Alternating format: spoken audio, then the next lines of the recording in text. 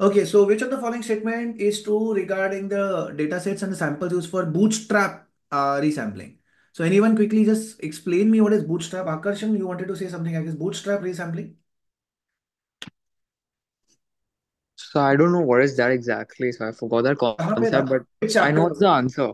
Yeah, I, which, which chapter was it?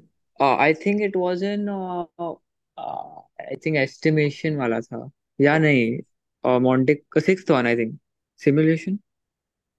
Okay, Vandana wants to answer. Okay, good, good, good. It was one, uh, uh Akash, right, but you are not able to recollect. So, okay. I know that's the answer. It's Achha, B. But what is bootstrap sampling? Oh, important there?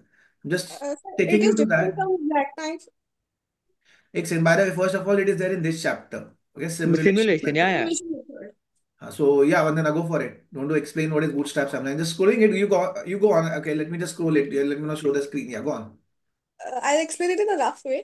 It is more likely used uh, मतलब जब computerised वे होता है इसमें and it is used मतलब same data repeatedly use होता है and they are not removed and again done that is done in like jackknife so which is computationally uh, more detailed which is more boot accurate bootstrap Bootstrap is more detailed and more accurate. Jackknife is basically a rough method which is uh, does not require that much of computational technology and it is less accurate. Let me just show it to you what she said.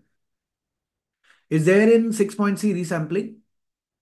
Okay, यहाँ पे bootstrapping का mention किया in our reading on estimation will describe some of this variable of resampling. So that's the reason Akash on confused कि कहाँ पर है क्योंकि दो बार है.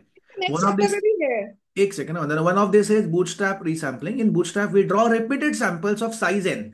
Now important is size n का मतलब है each sample is going to be of same size. Okay, so this is the important thing. Repeated samples of size n. तो ऐसा नहीं होगा कि first sample में there will be five members, second sample में will be ten members, third sample will be nine members. No, all the repeated samples will be of the same size. Let me just take a note of this. I don't know whether it was R. Yeah. So it was asked over here. The, all the samples are of the same size. So that rules out option A.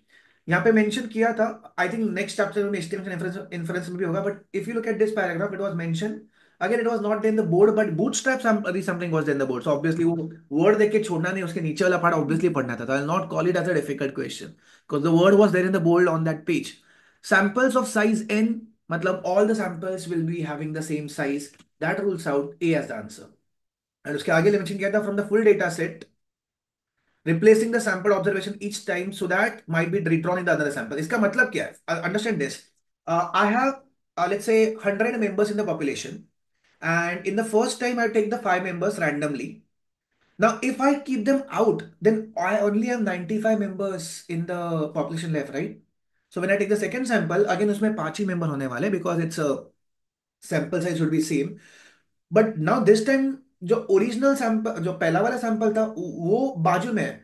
तो this this population is now only of members so I take the second sample of five then this I mean this would the previous sample के members will not be it is not possible to be there in the second sample because they were never bought back to the first I mean they were not bought back to the population for example let's let's पकड़ लो, हम sample size दो ले रहे हैं। and in the entire population, Akarshan and Vandana, these were the two people where, which were selected in sample one.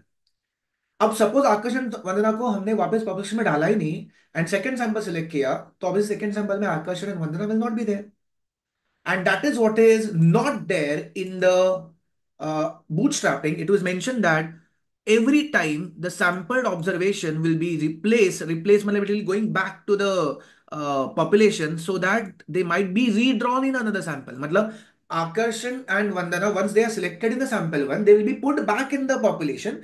So that second time जब कोई sample निकालेगा again of the sample size two, तो आकर्षण वंदना उसमें वापस आ सकते हैं so three things over here. Number one, full data set is being used.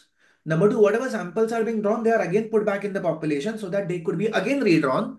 And number three all the samples are taken are of same size पहला भी दो member का सेकंड भी दो मेंबर का थर्ड भी दो मेंबर का. Is this clear guys raise hand okay so important concept वही बना अगर मैं बूट स्टेप या, अगर नॉर्मल रिविजन लेक्चर लेता था, किसी को कोई इंटरेस्ट नहीं होता था उसमें. ना एवरी विल बी इंटरेस्टेड कि okay these are the three points so number one because it is samples of size N मतलब same size option A gets deleted so B and C में से it is using the full data set So full data set. So that's the reason the answer is going to be B. Okay, and every time the replaced members are going to be brought back in the uh, population so that they could be read on again. Uh, उसमें भी है I think एक बार estimation वाले chapter where Akash was mentioning about it. So let me let, let let's go to that jackknife over here.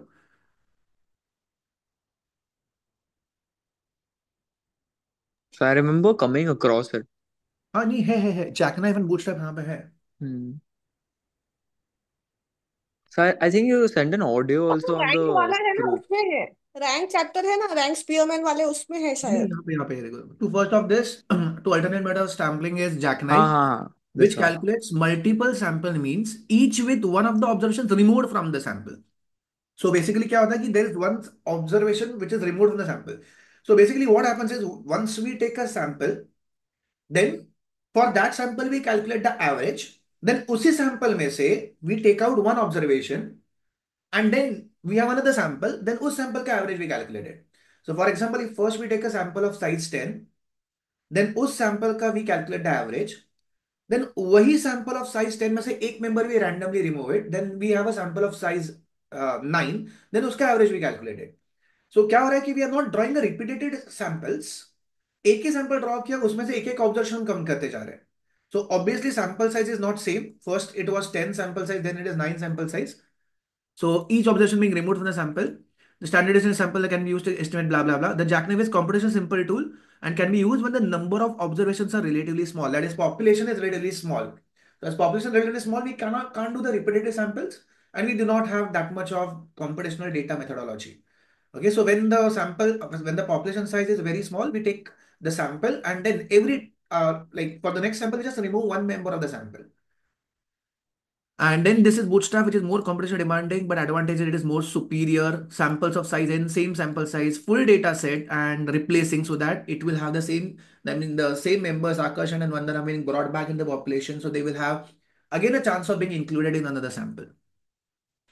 Okay, so Bootstrap can improve accuracy, but it is computationally more demanding.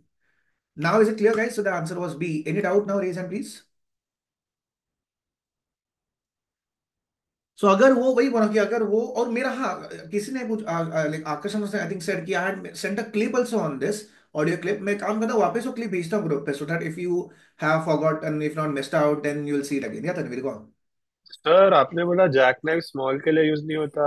I think Jack knife small के लिए use होता है मैं, because मैंने ये that is the small के लिए use नहीं था मैंने बोला कि jackknife is basically use when the data set is small अच्छा मैंने हाँ। स्मॉल के लिए यूज़ नहीं होता। वाला sorry my mistake jackknife is हाँ आपने वो बोला था। My my mistake sorry jackknife is used when the data size is small so that you can't keep on drawing the repeated sample and हमारे यू केस कैन में calculate it faster also हमारे एक एक एक करो add हमारे case में जो पॉपुलेशन था वो हंड्रेड का था हंड्रेड हेल्थ का था।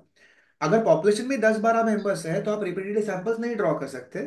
So the sample size is large and you have good computational methodology और software then you could use bootstrap but if the population size is smaller then you have to use the jackknife so my mistake sorry so for the larger population you can use the bootstrap and for smaller population you have to use the jackknife All right.